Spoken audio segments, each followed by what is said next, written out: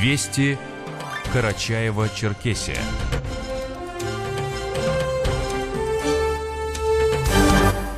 Здравствуйте, в студии с вестями республики у Марти Киев. И вот некоторые темы выпуска.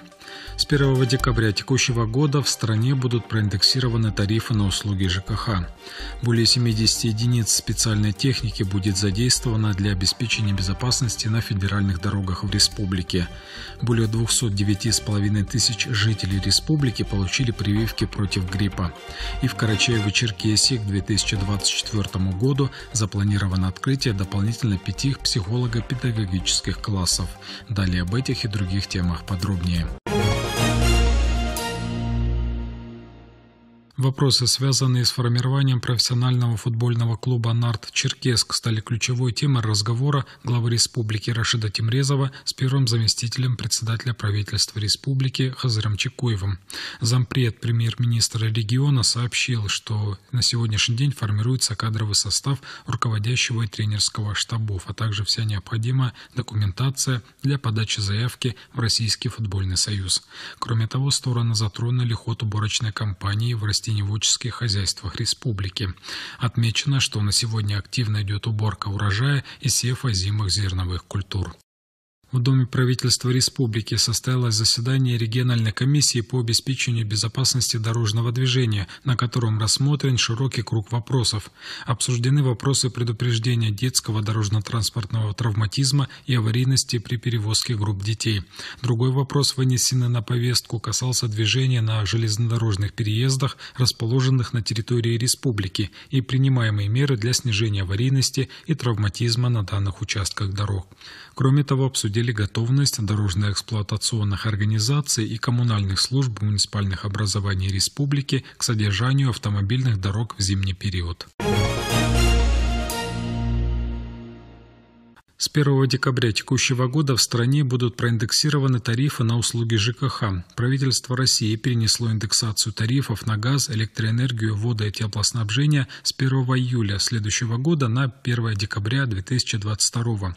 За счет данного решения более полутора лет индексации тарифов проводиться не будет. Следующая индексация произойдет только 1 июля 2024 года. Предельный уровень индексации тарифов с 1 декабря текущего года для населения по стране не превысит 9%. Средний ежемесячный платеж на одну семью из трех человек в месяц при реализации этих тарифных решений вырастет на 324 рубля. С 1 июля 2024 года на 248 рублей в месяц и с 1 июля 2025 года на 221 рубль в месяц. Вместе с тем, окончательное решение об уровне индексации в конкретном регионе будет принимать правительство субъекта.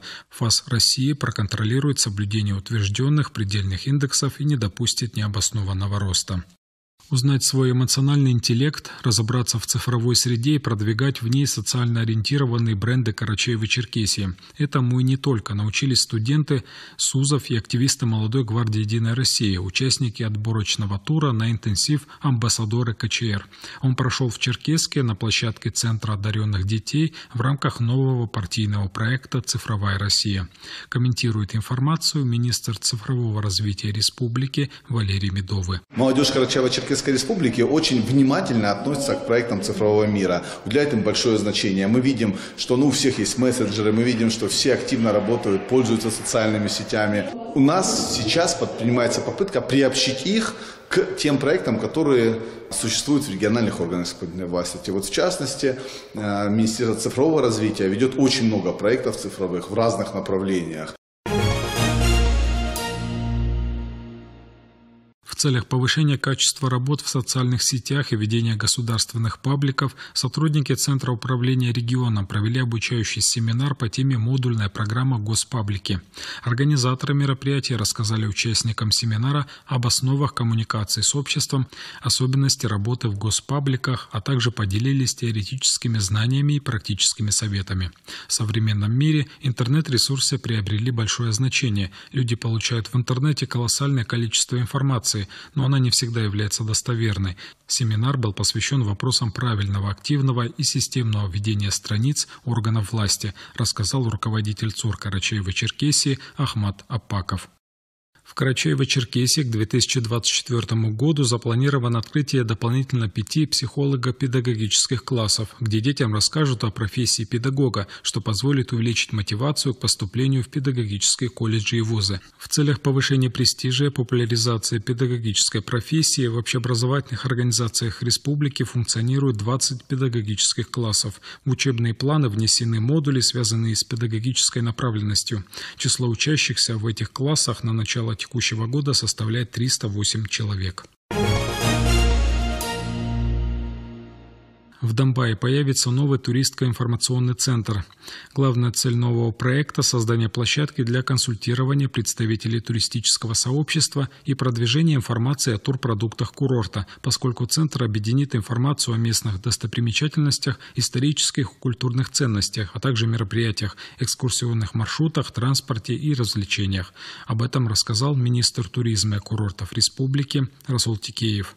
Донбай – это старейший и популярнейший курорт не только на Северном Кавказе, но и на территории всей страны. И, конечно же, актуальным становится создание единой сервисной службы на территории. Туристы смогут получать необходимую информацию, информация будет достоверной, это будет как и размещены цифровые карты, будет приложение создано к этому ТИЦ электронное. Также это будет оказание услуг. Это необходимо на сегодняшний день для того, чтобы туристы могли получать более качественные туристские услуги и, в принципе, информацию о том месте, где они находятся, и о регионе в целом. 209 539 жителей республики получили прививки против гриппа. Из них 51 700 человек – дети. В регионе продолжается прививочная кампания против гриппа. В процентном соотношении из запланированных 60% привит почти 51%. Важно, чтобы людей, сделавших прививку, было как можно больше. Хотя вакцинация от гриппа не дает стопроцентной защиты от заражения, она уменьшает риск тяжелого течения заболевания и осложнений. На базе молодежного спортклуба военно-патриотической направленности «Калибри» проводятся бесплатные курсы для добровольцев, готовых отправиться в зону проведения специальной военной операции. Здесь они могут пройти азы начальной военной подготовки, обучиться тактике ведения боевых действий и военной медицине. Об этом рассказал руководитель спортклуба Марк Кириенко. На сегодняшний день у нас два курса. Однодневный курс – это просто медицина, ну так называемая тактическая медицина, по оказанию самопомощи и помощи пострадавшему. И сейчас мы организовали еще трехдневный. То есть это более углубленный курс, э, предназначенный на то, что люди не только прослушали лекцию, что как, а именно попробовали на себе. Но всегда говорю, что процент выживания вашего в экстремальных ситуациях равен проценту ваших навыков. Селе Джага Малокрачаевского района появится новая мечеть, которая возводится на месте старой мечети, здание которой было признано аварийным. В разные годы в этом здании размещались гидроэлектростанция, производственный цех и даже пост ГАИ.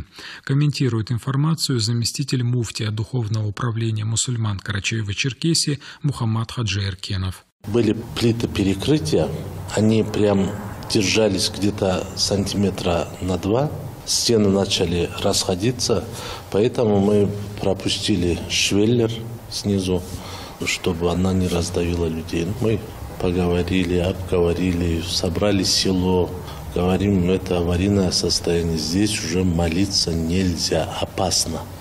Поэтому мы должны строить новую мечеть. Связи с изменением с 1 декабря текущего года законодательства в части формы полиса ОМС и перехода на единый регистр застрахованных лиц, страховая медицинская организация «Максим» предупреждает, что записи с неактуальными данными могут не попасть в единую базу данных. По этой причине необходимо проверить данные полиса ОМС и в кратчайшие сроки обратиться в офисы филиала.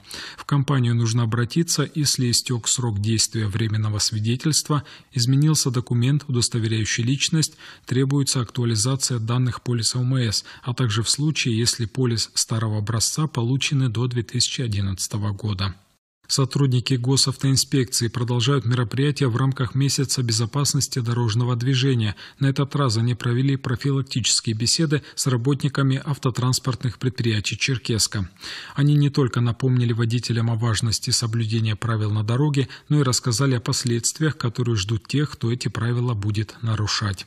Информацию комментирует заместитель командира отдельной роты ДПС города Черкеска Ибрахим Токов. В рамках проводимого месячника безопасности дорожного движения профилактическое мероприятие, которое проводится на территории республики с 14 ноября по 14 декабря, мы посетили троллейбусное управление города Черкеска совместно с сотрудниками Ростехнадзора для того, чтобы провести беседу профилактическую с водителями троллейбусов, так как э, в соцсети и на телефон доверия поступает очень много жалоб от граждан, то, что водители общественного транспорта нарушают правила дорожного движения. Федеральные автодороги Карачаева-Черкесии подготовили к предстоящей зиме. Для обеспечения безопасного и бесперебойного движения в зимний период будет задействовано 75 единиц спецтехники на территории республики. Против гололеда заготовлено почти 25 тысяч тонн песко-соляной смеси, образцы которой уже успешно прошли лабораторные испытания. Об этом рассказала пресс-секретарь Управления федеральных автомобильных дорог «Кавказ» Милана Тхамокова. В рамках зимнего содержания дорожники освобождают федеральные трассы от снежных заносов и лавин, очищают проезжую часть от снега, а также борются с наледями и скользкостью. Помимо этого расчищают тротуары, посадочные площадки автобусных остановок, устраняют снежные валы на обочинах, а также очищают дорожные знаки, барьерное ограждение, светофоры и направляющие устройства. Особое внимание в республике дорожники уделяют популярным туристическим маршрутам к горнолыжным курортам Дамбай, Архыз и Тиберда. В составе спецтехники комбинированные дорожные машины, автогрейдеры, роторные снегоочистители, экскаваторы, погрузчики, бульдозеры, колесные трактора и прочая дорожная техника. При неблагоприятных погодных условиях ФКУ «Прдор Кавказ» призывает автомобилистов избегать обгонов по встречной полосе и резких торможений. Водителям важно быть особенно внимательными, соблюдать скоростной режим и дистанцию. Всесезонный курорт Архыз в Карачаево-Черкесии стал лауреатом национальной премии «Горы России». Он победил в номинации «Лучший горнолыжный курорт Северокавказского федерального округа». Победителей первой национальной премии определяли путем народного онлайн-голосования. В конкурсе принимали участие 300 участников горнолыжной индустрии. Среди 29 номинаций, в том числе выбирали лучшие горнолыжные курорты страны, горные отели, банные и спа-комплексы. Комментирует информацию пресс-секретарь акционерного общества «Кавказ.рф» Татьяна Поздеева. Наш Архыз стал лауреатом первой национальной премии «Горы России». Он победил в номинации «Лучший горнолыжный курорт СКФО». Народное голосование длилось в течение осени, и мы, конечно, благодарны всем, кто отдал свой голос за Архыз. Ну и еще гордимся, что в числе победителей премии два отеля, расположенных на нашем курорте. «Романтик» стал лучшим отелем «Скиинский аут», Флора названа лучшим отелем горнолыжного курорта Северокавказского федерального округа. Поэтому спасибо всем, кто голосовал, и всем, кто приезжает на курорт снова и снова.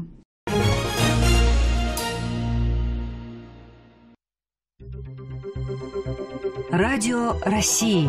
Карачаево-Черкесия. Погода.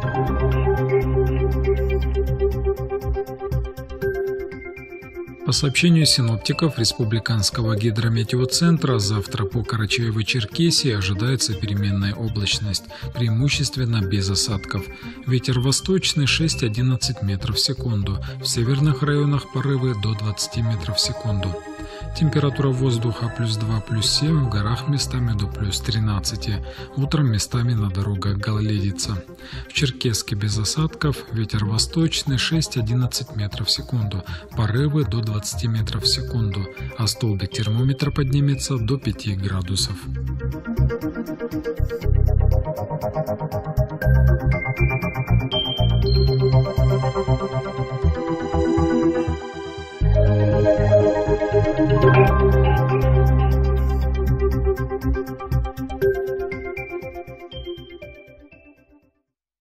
Это все новости к этому часу. С ними вас знакомил Умар Тикиев. Берегите себя и своих близких. Всего доброго. Вы слушали Радио России Карачаева-Черкесия. До новых встреч!